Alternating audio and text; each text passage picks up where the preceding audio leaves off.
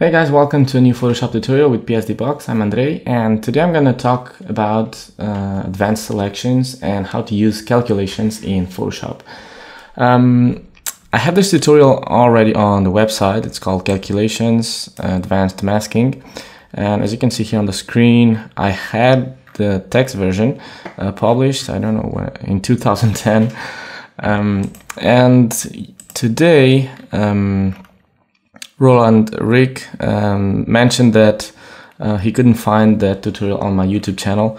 And when I made this tutorial about how to add tattoos um, on the skin uh, on a realistic manner, I think I mentioned about calculations. And actually, I talked about calculations in other videos, and I think I made a quick uh, demo on some of my tutorials.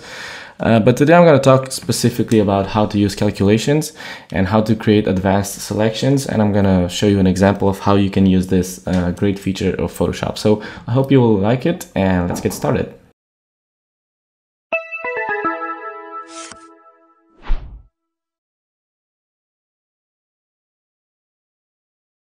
So in order to use calculations, uh, I'm going to use this free image and well actually it's not a free image. Uh, I got it from Depositphotos.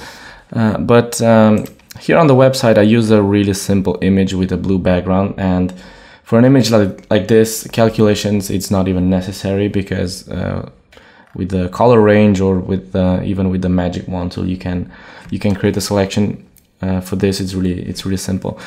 So I'm gonna use uh, something a bit more complex. Not really difficult but um, as you can see here, we have these branches over here and um, well, we have these mountains. These are really easy to select, but here we have some problems with the trees and um, making a selection with the quick selection tool or with the magic wand tool could take some time. Um, using the calculation doesn't mean that it has to be uh, something that is really quick to do, but uh, it can handle something a bit more advanced and some uh, and more complex selections uh, than you can do with the, the magic wand, for example, or with the color range.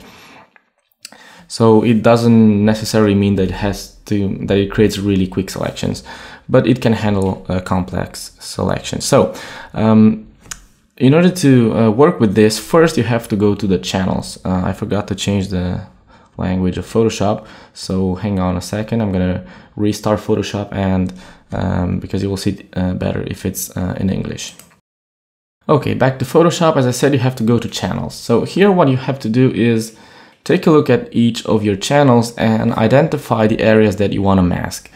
Uh, for this example, I want to mask the sky. So let's imagine I want to change the sky with something else. So what I would do is uh, take a look at each channel, the red, green, and the blue. Of course, we're working on the RGB uh, color space. And you have to um, choose the channel that gives you most contrast between the element that you want to mask and that the elements that you want to keep. So in this case, blue uh, is the channel that gives me most contrast be uh, between the sky and this church here and uh, the foreground over here. Uh, in many cases, maybe more than 50% of the times, the blue channel will be the one that will give you most contrast, but it uh, mm, depends, of course, uh, on your image that you're using. So I will use the blue channel. So the next thing that I'm gonna do is go to image, adjustments, and choose, um, sorry, uh, image uh, calculations over here. Now, here uh, you can see this new window appears, this um, menu over here, and we have source 1 and source 2, and then we have the blend mode. So basically what calculations does uh, is it takes two channels and uses a blend mode to um, to blend them and uh, give you more contrast. Um, we also have the two, two invert um, modes here. So for example, I can take the blue channel on source one. You can even uh, mask from, uh, you can even select layers from different documents. So if you have different documents open, you can do that. And of course, different layers.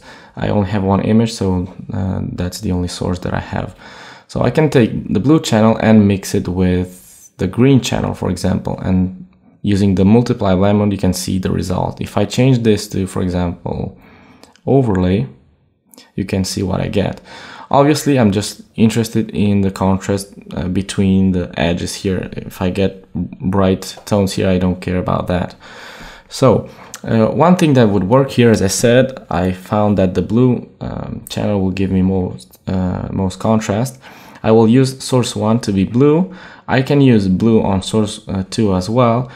But instead of using this blend modes, uh, here we get two other blend modes, which are add and subtract. If I use subtract, you can see I get this blue image because I'm subtracting blue from blue, so the result is nothing. Now, if I change this to invert any of them, for example, uh, this one, the top one, you can see how immediately I increased contrast and now I isolated the sky a lot more. And we also have isolated the details over here. Now we can complement this with another technique, which I'll show you later. Uh, after I'm done with this, I'm gonna add a new sky and I, I, can I will show you how to blend the colors on the edges as well. So the good thing about the add and subtract uh, blend modes is that we also have the offset and the scale. Now with this you can do some really advanced stuff. I don't know the math behind this, but I know pretty much um, what I have to do to get uh, certain results. Basically, if you're increasing the offset, uh, this goes from 0 to 255, so let's put it to the max so you can see what it does. It kind of um, multiplies everything, and the lower you have it, let's leave it on 64, the higher the contrast. The same with the scale, so if you put a scale of 2, uh, this one goes from um, from 1 to 2. So um, it kind of darkens the highlights. Let's let's call it that way. So if you put a scale of one and an offset of let's say 20, you can see um, what you get. So I think 64 works and scale one, and this is what I got. I'm gonna click OK, and now I can repeat the process. Go again to image calculations, and this time uh, you can see when you click OK, you create a new alpha channel, and alpha channels is just a saved selection uh, basically. So I can get alpha 1 and mix it, I know, uh, with the red. So you can experiment uh, with this. I'm going to invert one of the channels. You can invert uh, top or the bottom one. It depends on really what you want to have selected. But uh, you can see that on alpha 1 I had this um, white. Um, actually I had the sky white uh, and I want to keep it that way. So I would probably uh, just multiply alpha channel uh, with itself. Now apply image calculations. So I will get alpha 1 and just multiply it by itself or even choose, let's try soft light um, to see if we can increase the contrast even more. Yep. And there you have it. Now we have some problem over here, but I'm going to show you how to how to deal with that. Um, of course, you can also apply levels and curves to, to alpha channels and I'm going to show you how to do that. So with alpha 2 selected, I'm going to press Ctrl Command L to open uh, my levels and I'm going to increase the highlights a bit and darken the midtones. And one cool trick here is using the brush tool actually. I'm sure you've seen this before. So I'm going to put the opacity and the flow to 100%. I'm going to use a soft brush and I'm gonna change the blend mode of the brush itself to uh, let's say overlay and what you do with this is if you paint with white over black area with, with the overlay blend mode nothing will happen but if you paint on something that is um, mid-tone gray like for example here oops with white not with black take a look I just brighten the brighter areas and not the dark ones check that out and here as well. Make sure you don't paint over this area, but if you can see here, we have this dark line which helps us separate things. So you can safely paint with this. Um, you will lose some some of the edge, but um, it's a lot better than using the magic wand. So let's paint over there as well. Remember that um, it doesn't always have to be pure white because transparency sometimes um, look better, uh, semi-transparent areas. It also depends, of course, on the new background that you're going to use the image on. So I'm going to paint with this over here really quick. Um, and here with black. Actually, I'm going to change the blend mode back to normal. Don't forget to change the blend mode, blend mode back to normal on your brush because sometimes it can give you uh, headaches because if you go back to the layers, the blend mode will stay the same, will be kept in in soft light or whatever mode you had it. And let's say you want to paint on a layer mask and it doesn't work and you don't know why it happened to me a lot of times. Okay let's oops let's fill this area over here. I'm gonna fast forward uh, painting these areas over here and i'm gonna show you how i can change uh, how i will change the sky and blend the colors uh, on the edges.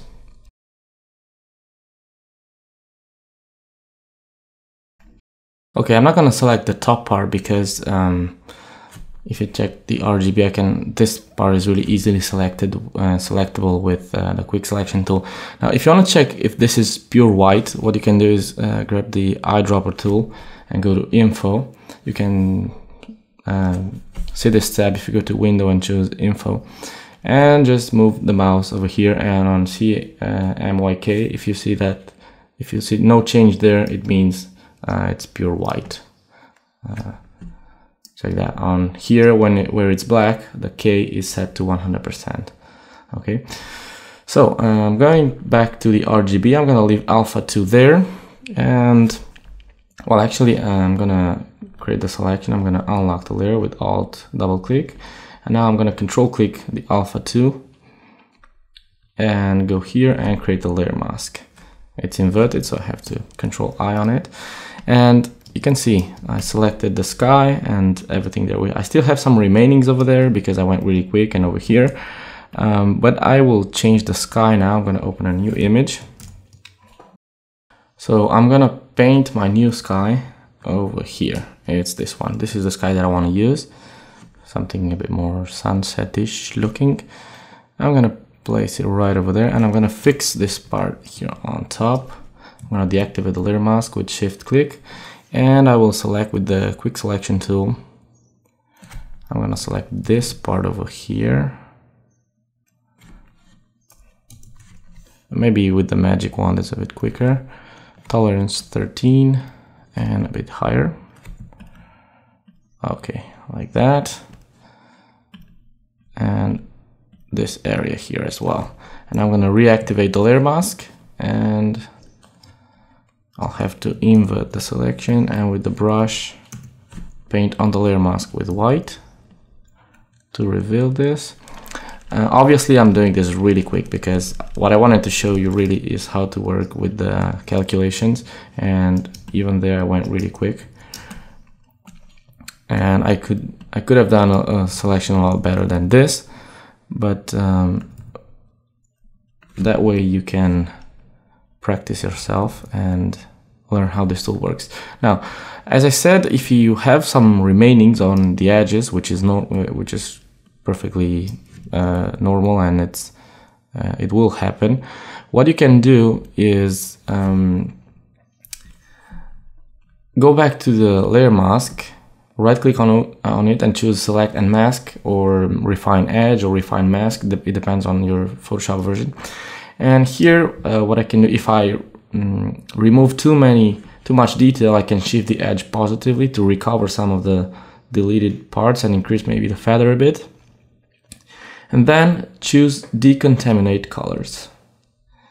And what Photoshop will do is if you increase the feather too much, it will try to match the color of the surrounding areas. I think it uses the um, um, content aware feature, I'm, I'm not sure. So I will, instead of using a positive edge, I'm gonna leave it to zero maybe. Here on the shift edge and probably increase the contrast just a bit. Or try not changing any of the settings here and see what you get. Uh, it really depends on your image. And, but uh, usually it works uh, pretty well.